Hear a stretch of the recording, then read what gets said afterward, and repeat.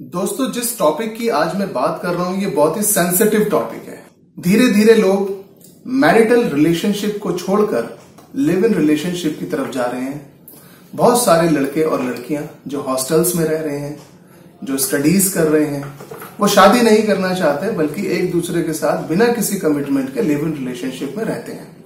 एक बहुत बड़ी आबादी ऐसी है जो लिव इन रिलेशनशिप में कुछ महीनों से नहीं, बल्कि कई कई साल से रह रही है।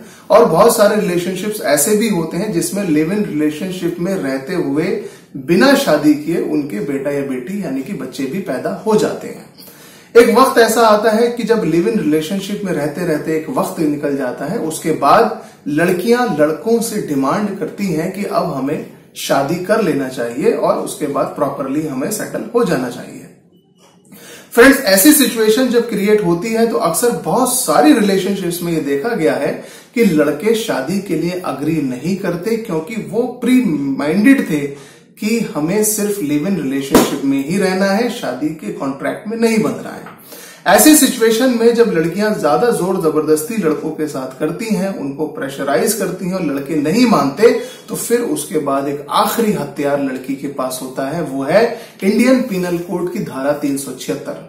जो कि सीधे सीधे रेप का एक एलिगेशन है। और रेप का एलिगेशन सुप्रीम कोर्ट की गाइडलाइंस के अनुसार अगर कोई भी लड़की रेप का एलिगेशन लगाती है या कोई भी सेक्सुअल असोल्ट सेक्सुअल ऑफेंस का एलिगेशन लगाती है तो थाना चौकी प्रभारी या थाना इंचार्ज जो होता है, उसका सबसे पहला काम यह है कि वो पहले उस पर एफआईआर रजिस्टर्ड करे और एफआईआर रजिस्टर्ड करने के बाद उसमें इन्वेस्टिगेशन इंक्वायरी शुरू करे। तो फ्रेंड्स, कहने का सीधा पर्पज यह है कि अगर आप लिव इन रिलेशनशिप में रह रहे हैं, लिव इन रिलेशनशिप किसी भी वजह से आपकी खराब हो गई है, लड़की के साथ आपके ताल्लुकात खराब हो गए हैं, और आपके खिलाफ तीन सौ छिहत्तर की एफआईआर हो गई है तो अब ये जो मैं आपको केस बताने जा रहा हूँ, ये सिर्फ़ आप ही के लिए है। ऑनरेबल सुप्रीम कोर्ट ने जुलाई के महीने में एक बहुत शानदार जजमेंट पास की थी। इस जजमेंट का नाम है Ansar Mohammad versus state of Rajasthan. जिस केस की मैं बात कर रहा हूँ, ये केस राजस्थान के अंदर हुआ था, जिसमें एक लड़का, अंसार मोहम्मद, एक लड़की के साथ लिव इन रिलेशनशिप में चार साल तक रहा। चार साल उस रिलेशनशिप में रहने के बीच में इस, इन दोनों लड़का और लड़की के संबंधों से एक बेटी भी पैदा हुई और किसी वजह से दोनों की रिलेशनशिप खराब हो गई। लड़की ने अंसार के ऊपर एलिगेशन धारा तीन सौ छिहत्तर के अंदर ये लगाया कि इस व्यक्ति ने मेरे साथ रेप किया है।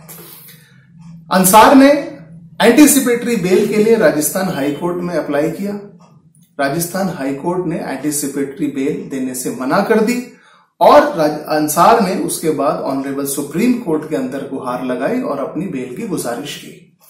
फ्रेंड्स ऑनरेबल सुप्रीम कोर्ट ने जो इस पे ऑब्जर्वेशन दी है, वो बहुत ही काम की है, बहुत ही शानदार है और बहुत सारे केसेस के अंदर ये माइलस्टोन प्रेसिडेंस बनने जाएगी।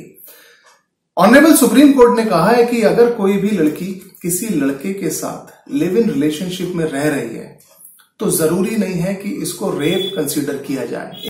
एक रिलेशनशिप जिसमें लगातार चार साल तक आपके आपस में शारीरिक संबंध बने, एक दूसरे के साथ हस्बैंड और वाइफ के नेचर वाले रिलेशनशिप में आप रहे, इस बीच में आपने कभी कोई पुलिस को कंप्लेंट नहीं की, आपकी मर्ज़ी के खिलाफ कोई भी सेक्सुअल ऑफेंस नहीं हुआ, जो भी चार साल की रिलेशनशिप थी, वो रिलेशनशिप लड़की की मर्ज़ी से लड़के ने बनाई थी। अगर किसी भी वजह से ये रिलेशनशिप खराब होती है तो इसको रेप का नाम नहीं दिया जा सकता।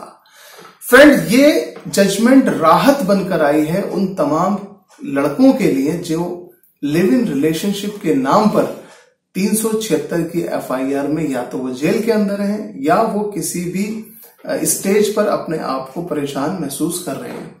फ्रेंड्स, इस जजमेंट के आधार पर बहुत सारे लड़कों की जान बचेगी। बहुत सारे एक्यूज पर्सन को राहत मिलेगी और अगर किसी को बेल लेने में कोई परेशानी हो रही है तो Ansar versus state of Rajasthan के आधार पर आप ऑनरेबल किसी भी हाई कोर्ट के अंदर या सुप्रीम कोर्ट में आप बेल भी ले सकते हैं।